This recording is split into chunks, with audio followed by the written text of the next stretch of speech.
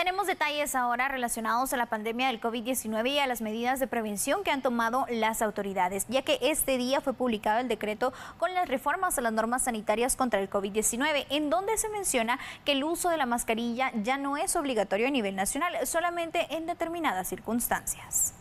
El Ministerio de Salud Pública y Asistencia Social derogó el uso obligatorio de la mascarilla como método para frenar contagios del COVID-19 en lugares abiertos o cerrados, mediante el Acuerdo Ministerial 193-2022, hecho público este lunes en el diario oficial y que fueron anunciadas hace unos días por el presidente Alejandro Yamatei.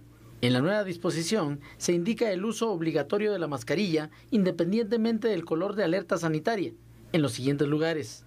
1 hospitales públicos, privados o centros de salud, puestos de hisopado y de vacunación, clínicas médicas y laboratorios. 2. En centros de cuidado y atención para personas de la tercera edad. 3. Centros de detención y arresto.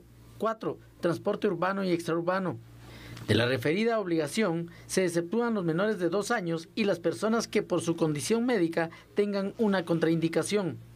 Las autoridades indicaron que el uso de la mascarilla en lugares distintos a los antes mencionados, independientemente del color de la alerta sanitaria, es altamente recomendable. Esta nueva disposición se adopta en el marco de la apertura de todas las actividades económicas, laborales, educativas en todos sus niveles, técnicas de capacitación y de cuidado infantil, en la cual se incluye la disposición sanitaria de lavado de manos y distanciamiento físico mínimo de 1.5 metros. El presente acuerdo ministerial cobra vigencia inmediatamente y queda en manos de las autoridades locales aumentar y nunca disminuir las disposiciones sanitarias antes descritas.